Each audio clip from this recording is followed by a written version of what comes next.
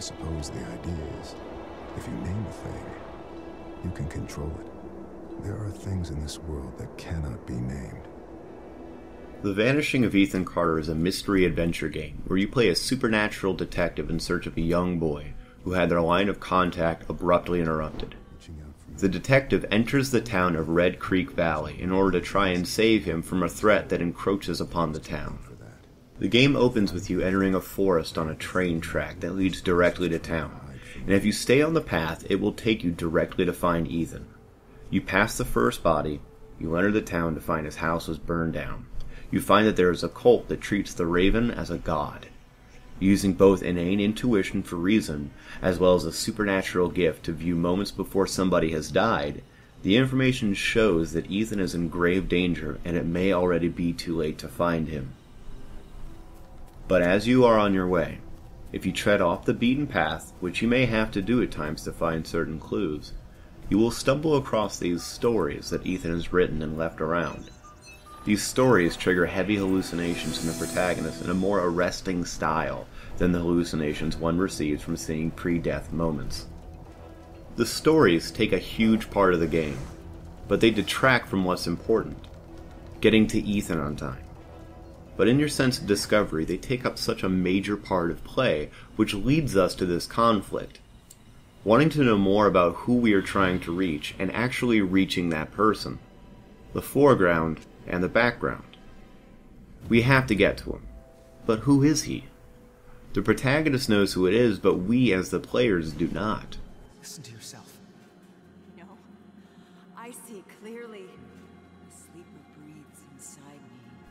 As the story progresses, we find out that the villain of the story is this sleeper, who must wake and is feeding off the suffering of others. So as long as people are alive and in pain, the sleeper stays alive. As long as there is conflict, the sleeper will eventually wake. The protagonist feels the sleeper watching him and is afraid of not being able to reach him in time. We discover through the story about how the sleeper awakens a bloodlust in his family, and how the brother and the mother think they need to sacrifice Ethan. The uncle tries to kill him, but his body is disposed of in a fire-lit cemetery. The father and grandfather are passive resistances against the forces of the sleeper and commit suicide. The father, by cutting his throat with scissors, and the grandfather, by self immolation. While not assailed by the forces of the sleeper, we traverse this story and manage to find Ethan asleep in an underground bunker, alive.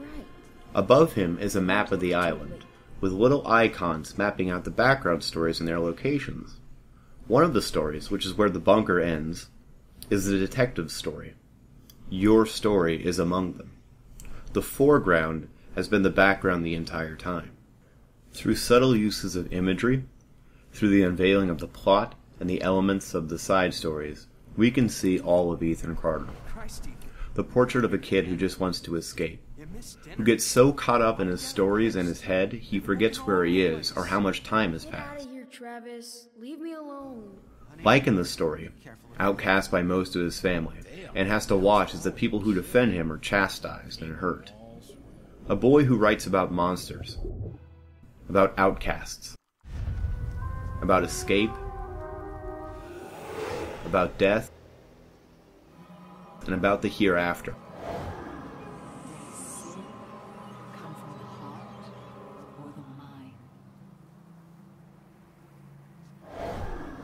We watch this boy unravel from the inside as the outside closes in.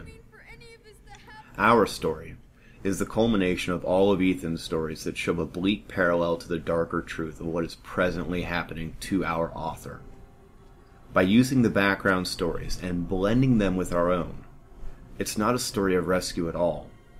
It's a story about a man about to meet his maker.